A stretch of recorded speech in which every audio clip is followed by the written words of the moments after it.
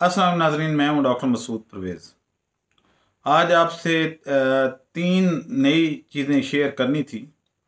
जैसा कि आपको पता है कि पाकिस्तान का, बल्कि पूरे साउथ एशिया का सबसे बड़ा बायोफ्लाक जो जोन था या सिस्टम था, वो कराची में लग चुका है। मछली डाल चुकी है, ग्रोथ, अल्हम्दुलिल्लाह, बहुत अच्छी जा रही है। यानी पंद्रह दिनों में हमारी मछली जो है उसकी फिफ्टी सिक्सटी परसेंट से ज़्यादा मछली ऐसी है जो चार इंच को टच कर गई है। आ, ये बहुत ज़बरदस्त ग्रोथ गिनी जाती है। आ, बाकी दूसरी खुशखबरी ये थी कि पहले सिर्फ़ हमने फैसलाबाद और कराची को शुरू किया और दोनों जगह पे हमने मछली डाल दी और वो कामयाबी से अपनी मंजिल की तरफ़ गामजन है। अगली जो थी प्रॉब्लम हमारे साथ फेस हो रही थी कि मैं लाहौर में रहता हूँ और लाहौर में जोन नहीं बन पा रहा था। लेकिन आप अगर साबित कदम रहें और रास्ता सीधा और नेक नीति पे मबनी हो तो अल्लाह ताला फरिश्ते भेज ही देता है। तो एक फरिश्ता सिफ्त इंसान मेरे पास आया और उसने आके मुझे ऑफ़र की कि मेरा फार्म हाउस है। आप मेरे फार्म हाउस को इस मकसद के लिए यूज़ कर सकते हैं। अब वो फार्म हाउस जो है, उसमें एक कनाल पे तो उसका वो बना हुआ बिल्डिंग तो दो कनाल जगह खाली थी। मैंने कहा ये तो जगह कम है। तो उसने कहा आप और ले लें। मैंने कहा, जी, और कैसे आएगी? कहते, जी, सामने जितने प्लाट्स हैं, ये सारे मेरे हैं और दो दो कनाल के हैं तो आप इनमें से जितना लेने चाहें, वो ले लें। तो लिहाजा आज हम इस बात का जो है, ऐलान कर रहे हैं कि लाहौर बायोफ्लाक जोन अब चंद दिनों में शुरू हो रहा है और जिन साहबान ने मेरे पास अपना नाम लिखवाया था, मेरे से वो, क्योंकि मेरा फ़ोन जो है वो मिसप्लेस हो गया था तो वो लिस्ट सारी मेरे से ज़ाया हो गई है। तो अब वो दोबारा मुझे अपना नाम लिखवाएँ और अपनी बुकिंग करवा सकते हैं। इसी तरीके से आपको पता है कि इस्लामाबाद में एक बहुत बड़ा ग्रुप है। उन्होंने मुझे ऑफ़र दी कि आप हमारे पास आ जाएँ और इस जगह पे जितनी आपको जगह दरकार है बायोफ्लाक जोन के लिए तो हम देने को तैयार हैं और एक आउटलेट भी आपके फ़िले का हम यहाँ बनाना चाहते हैं। तो दूसरी खुशखबरी ये थी। तीसरी ये है कि मुल्तान में भी हमने जगह की हमें ऑफ़र हो गई है तो जो ट्रेनिंग हम तीस अप्रैल को कर रहे हैं उसमें हम वहाँ का सर्वे करके और सारी तफसीत तय करके तो आ, वो जो बायोफ्लाक जोन मुल्तान होगा वो भी शुरू हो जाएगा इन्हीं पंद्रह बीस दिनों में। क्योंकि जनूबी पंजाब के लोग मेरे से शिकवा करते थे कि जी ज़्यादा काम आपने पंज, अपर पंजाब की तरफ़ किया है और जनूबी पंजाब में आपने कुछ नहीं किया। हालाँकि ऐसी कोई बात नहीं है। मैंगो जो स्लाइसेस हैं या मैंगो जो वेस्ट हो रहा था, वो सारे का सारा प्रोजेक्ट है ही आपका। क्योंकि अपर पंजाब में, लाहौर में तो कोई मैंगो के बाग नहीं है, ना फैसलाबाद में, ना ही झंग में, ना रावलपिंडी, चकवाल में मैंगो के बाग है। ये सारे के सारे तो आपके एरिए में थे। तो आप खाम खा परेशान हो रहे थे और ट्रेनिंग भी इसलिए मैंने मुल्तान में रखी है। उन चीज़ों की जो आपकी लोकल प्रोडक्शन है और वेस्ट हो रही है। हमेशा उस चीज़ में ज़्यादा प्रॉफिट होता है जिसका रॉ मटेरियल फ्री हो या बहुत कम कीमत में हो। तो क्योंकि ये जो बनाना चिप्स है, ये भी आपको बहुत कम कीमत में मिल जाता है और मैंगो आपको फ्री मिल जाता है। क्योंकि ये गिरा हुआ वो मैंगो जो आंधियों में गिर जाता है, जो हमारी फ़सल इस मुल्क की ज़ाया हो रही थी, उसको हमने करना है। उस उस इसको जो हम ये इस तरह की चीज़ बनाते हैं, इसको इंग्लिश में हम कहते हैं वैल्यू एडिशन तो ये वैल्यू एडिशन करनी है। यानी जो चीज़ ज़ाया हो रही है, उसको एक वैल्यूएबल प्रोडक्ट बनाना है। और यही मेरा मिशन है। मैं कभी आपको ये नहीं कहूँगा कि आप जो है वो वंडा बनाना शुरू कर दें, वो भी इम्पोर्टेड रॉ मटेरियल पे मैं कभी नहीं कहूँगा आपको। मैं पोल्ट्री फ़ीड आपको नहीं कहूँगा कि बनाएँ, क्योंकि ये चीज़ें इम्पोर्टेड हैं। आपके, आपको शायद इल्म है कि पोल्ट्री फ़ीड वाले साढ़े चार बिलियन डॉलर की पोल्ट्री के अज़ा इंपोर्ट करते हैं। यानी जो, अगर जिस मुल्क की मुर्गियाँ साढ़े चार बिलियन डॉलर खा जाती हों तो वहाँ की आवाम क्या खाएगी?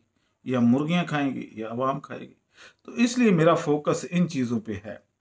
आज इसमें आपको फिर एक दफ़ा मैं ये कहूँगा कि आप लोगों को अब हमारी लोकल मुर्गी, देसी मुर्गी और क्रॉस किया हुआ वाइट लेग हॉर्न के साथ उनको पालना चाहिए। उस, एक तो वो मुर्गी आपकी खुराक के बगैर पलेगी। अंडा आप देगी तो खुराक के बगैर देगी। और आपने सिंपली उनको लार्वा पे पालना है। अब लार्वे में यहाँ पे कुछ नासमझ दोस्त जो हैं हमारे क्योंकि सारी कौम इम्पोर्ट इन्होंने सीखा और क्या है? इम्पोर्ट करना सीखा है और कमीशन खाना सीखा है। तो ये क्या करते हैं कि अपने मुल्क की मक्खी से जो लार्वा पैदा होता है, उसको नहीं बना रहे। और बाहर से B S F black soldier fly जो कि अमेरिकन मक्खी है तो वहाँ से मक्खियाँ भी इम्पोर्ट कर लेते हैं। यानी देखो, खाना ख़राब करके रख देते हैं पूरे मुल्क का। एक अच्छी प्रपोजल मैं देता हूँ और फिर जाके इम्पोर्टेड पे चले जाते हैं। अच्छा खैर वो एक लंबी बहस हो जाएगी। अब ये जो मक्खी है, इसका थोड़ा सा एनालिसिस तो करते हैं आज कि ये मक्खी करती क्या मैं क्यों इस पर फोकस कर रहा हूँ? मेरी माँ मुझे कहती थी कि बेटे, हर चीज़ को अल्लाह ताला ने किसी न किसी मकसद के लिए बनाया तो मैं कहता था, अम्मा, ये क्या, ये देखें, मेरे सालन में मक्खी गिर गई। इसका क्या मकसद था? सालन खराब करना इसलिए अल्लाह ताला ने बनाया था। अम्मी कहती थी, हमें नहीं पता, लेकिन बेटे कोई ना कोई इसका मकसद होगा। तो जब मैं बड़ा हुआ और मैंने ये पढ़ा और देखा, पढ़ने से ज़्यादा मैंने देखा तो ऑब्जर्वेशन आप अपनी तेज़ रखें तो आप बहुत से काम कर सकते हैं। अब ऑब्जर्वेशन क्या थी कि मक्खी को अगर आप किसी गंदी चीज़ पे उसकी ऑब्जर्वेशन करें तो मक्खी एक दिन में छः सौ अंडे देती है। और हमारी मक्खी, ये हम अपनी मक्खी की बात कर रहे हैं तो 600 अंडे जो हैं वो ओवरनाइट यानी आज अगर शाम तक उसने 600 अंडे दिए हैं तो रात गुजरने के बाद अगली सुबह को उनमें से बच्चे निकल आते हैं। और 600 अंडे से 600 बच्चा अगले दिन एक मक्खी से निकलता है। अब ये मक्खी जो है, अगले दो दिन में इन, इस लार्वे का वज़न एक ग्राम हो जाता है। और मुर्गी एक अंडे के लिए नब्बे ग्राम खुराक खाती है। यानी एक मक्खी दस मुर्गियों को पाल सकती है, सिर्फ़ एक मक्खी। आप ऑब्ज़र्व तो करें, देखें तो सही, अल्लाह ताला ने आपको कितनी बड़ी नेमत दिया ये टेम्परेचर क्योंकि ये मक्खी सर्दियों में तो मर जाती है कोल्ड ब्लडेड है। तो यूरोप वगैरह में ये नहीं होती। हमारे यहाँ ये हर, और है कहाँ क्या यहाँ पे? मक्खियाँ और गोबर, ये आम है। तो मैंने एक फार्मूला बनाया हुआ है। कि अगर आप गोबर की चार इंच की तय लगा देते हैं और उसका मॉइस्चर परसेंटेज जो है, वो आप 45 से 50 के दरमियान रखते हैं। तो उस पे शीरा अगर फेंक देते हैं तो उस पे मक्खियाँ आके बैठती हैं। और मक्खी जहाँ भी बैठती है, वहाँ अंडे देती है। अब ज़ाहिर है छः सौ अंडा उसने एक दिन में देना है, बारह घंटे में तो करना ही करना है। अब ये जो मक्खियाँ हैं, ये जब वहाँ पे अंडे देती हैं तो अगले दिन क्योंकि शीरा अट्रैक्ट करता है, मीठा अट्रैक्ट करता है मक्खी को। मक्खी बड़ी खुश होती है मीठे पे बैठ, बैठने से। तो वहाँ अंडा दे देती है। मॉइस्चर अगर पूरा है और गर्मी, यानी अगर टेम्परेचर तीस, बत्तीस डिग्री पे पहुँच गया है तो उसमें से एक ही रात में बहुत सारे बच्चे निकल आते हैं। अब अगर आप ये देखें कि आपकी देसी मुर्गी खाती क्या थी, या मुर्गी तमाम मुर्गियाँ जो सिवाय उनके कि जो हमने उनको आदि कर दिया है कि फार्म में वो भी एक हफ़्ते में इस पे लग जाती हैं। अब ये जो मुर्गी है अगर आप देहात से तलक रखते हैं तो आप जैसे ही डरबा खोलते हैं तो मुर्गी भाग के जाती है और कूड़े के ढेर पे या गोबर का जो ढेर है उस पे जाके पाँव से उसको हटाती है क्योंकि मक, मक्खी का लार्वा एक से दो इंच नीचे होता है। मुर्गी को इस बात का पता है। वो पाँव से हटाती है और अंदर से लार्वा चुन चुन के खा लेती है। और उस जो कीड़े इस मकोड़े से वो एक वैल्यूएबल ऑर्गेनिक अंडा आपको दे देती है। जो मुर्गी मैं आपको दे रहा हूँ, ये आप लार्वे पे अगर पालेंगे और थोड़ा सा लूसन का चारा उसको खिला देंगे तो ये ये मुर्गी 50 टू 60 परसेंट प्रोडक्शन देती है। यानी अगर आप हज़ार मुर्गी रखते हैं तो 500 अंडा देती है। अब 500 अंडा अगर एक हज़ार मुर्गी से आए, वो भी बगैर खुराक के, यानी खुराक वो खुद खा ले, खुद तलाश करे, कोई लेबर नहीं, कुछ नहीं। तो क्या होगा कि 500 अंडे की कीमत जो बनती है, वो दस हज़ार रुपये बनती है। तो दस हज़ार रुपये रोज़ाना आमदन आ गई। तो देहातों में हमारे जो सोए हुए नौजवान हैं, जो लस्सी पी के सोए पड़े हैं, वो यही काम कर लें।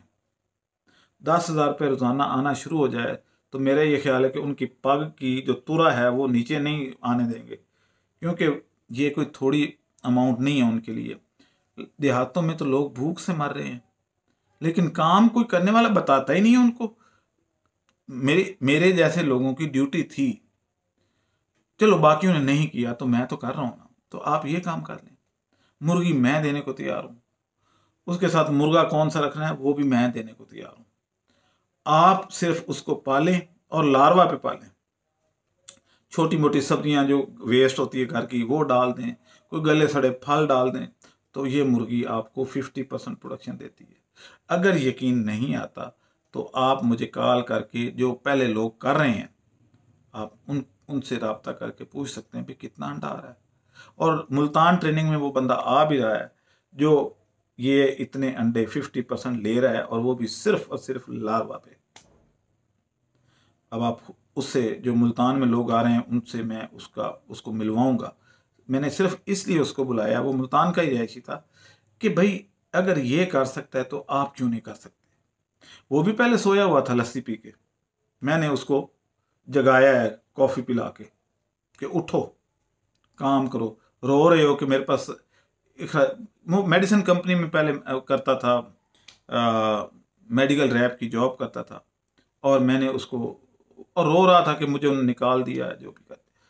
अब वो बंदा इतना खुशहाल है कि उस वो कहता है जी मैं मैं तो पता नहीं इतनी उम्र कैसे ये काम मैंने कर लिया। मुझे पहले अगर आप मिल जाते तो मैं ये कर, पहले ही कर लेता। अब उसकी देखा देखी गाँव के दूसरे लोग भी इस काम पे लगे आप भी हिम्मत करें इस काम पे इस काम को करें। और इसका फ़ायदा क्या होगा कि जो बड़े बड़े हमारे कंट्रोल शेड बन गए हैं, ये सारे इस मुल्क की इकोनॉमी पे बोझ हैं, मीशत पे बोझ हैं। साढ़े चार बिलियन डॉलर की पोल्ट्री के अज़ा इंपोर्ट करते हैं। क्या 1990 से पहले ये था? हमारी रूरल देहातों से आ रही थी ना मुर्गी, और हमारी ज़रूरत पूरी हो रही थी। इस पे कौन लेके गया? ये सरमायादार। खैर हम, हमें, वो भी हमारे ही भाई हैं, ओके, उनको भी जो लेकिन अब कुदरत ने आपको फेवर दे दिया क्योंकि डॉलर की प्राइस इतनी अप हो गई है कि अब वो अज़ा इंपोर्ट करना मुश्किल हो गया, और अगर इंपोर्ट करते हैं तो गोश्त और अंडे की कीमत इतनी पड़ती है उनको कि वो अवाम खाने को तैयार नहीं है, अवाम के पास तो पैसे ही नहीं है अब, कहाँ से खाएगी? तो ये बेहतरीन मौका है, बेहतरीन टाइम है कि आप इस पर एक्शन लें। और फौरी तौर पे छोटे छोटे पाँच सौ या हज़ार या दो हज़ार या तीन हज़ार के फार्म बना लें। इसके ये कोई जखेज ज़मीन की भी ज़रूरत नहीं है। जहाँ आप गोबर डालेंगे, उसमें से कीड़े खाने के बाद वो खाद बन जाएगी और अगर वो बंजर ज़मीन भी है तो उस पर फिर फ़सल भी उगना शुरू हो जाएगी, क्योंकि उसमें ऑर्गेनिक फर्टिलाइज़र आपने डाल दिया और आपने मॉइस्चर भी दे दिए छिड़काव तो आप करेंगे दिन दिन को दो या तीन दफ़ा करना पड़ेगा गर्मियों में। तो उससे क्या होगा कि ज़मीन भी सरगेज होगी। आपकी जो, वो ज़मीन है, उससे भी आपकी आमदन शुरू हो जाएगी कि जो बंजर थी। और मुर्गी भी पालना शुरू हो गई, बाद में आप उसमें कोई और क्रॉप्स भी लगा सकते हैं। तो इसका पूरा एक डिज़ाइन मैंने बनाया हुआ है। अगर आप चाहें तो प्राइवेटली मुझे आके मिल सकते हैं, क्योंकि अगर मैं इस वीडियो में बताऊँगा तो ये वीडियो बहुत लंबी हो जाएगी। और आप नहीं देखेंगे, आप पास इतना टाइम ही नहीं होगा। ज़ाहिर है आप मसरूफ़ हैं तो मैं तो चलें, फारग आदमी हूँ। लेकिन आप बहुत मसरूफ़ हैं और आप इसको छोड़ के तो टिक देखना शुरू कर देंगे। मुझे पता है इस बात का। क्योंकि वहाँ रंगीनी है, यहाँ आपको नसीहतें मिलती हैं। तो फ़र्क तो है ना। तो अब मुझे इजाज़त दें। अल्लाह हाफिज़।